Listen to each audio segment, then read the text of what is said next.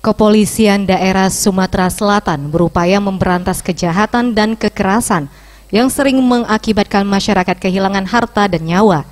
Kejahatan dengan kekerasan perlu diberantas dengan memberikan tindakan tegas kepada pelakunya, karena perbuatannya yang tergolong kejam dan sadis menimbulkan keresahan di masyarakat. Terkait hal tersebut, Direktur Kriminal Umum Polda Sumsel Kombes Pol Yutan Alpiani mengatakan, Tindak kriminal curas, curat dan curanmol atau 3C di wilayah Sumsel masih didominasi oleh kelompok-kelompok kecil.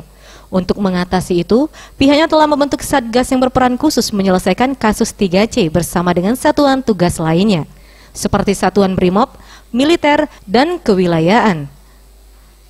Pihaknya pun akan memetakan wilayah mana yang memiliki tingkat kriminalitas tinggi. Nah, setelah adanya kejadian ini gimana nanti ke depannya ke Tanda sendiri?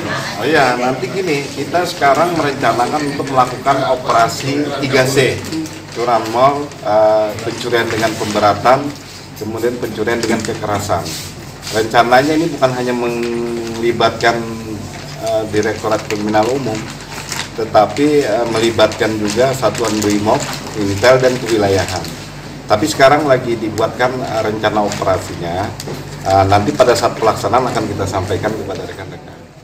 Ditambahkannya melalui upaya tersebut diharapkan bisa mempersempit ruang gerak pelaku kejahatan dan memberikan efek jerah kepada pelaku kejahatan yang sering menimbulkan keresahan masyarakat. Tim Liputan Sriwijaya TV